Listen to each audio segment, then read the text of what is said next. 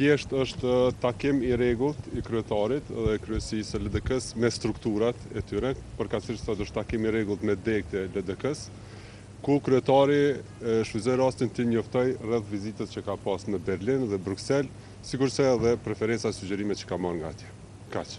Për sot. Cilat janë ato preferenca, Arban? Besoj që do të trajtohen gjatë ditëve në vijim. A është diskutu çështja e me bllokun? Jo, nuk u diskutu kjo, thjesht njoftim me struktura për zhvillimet e fundit, gjithashtu edhe konsultimet edhe idetë nga vetë strukturat për për kryesinë në këtë rast.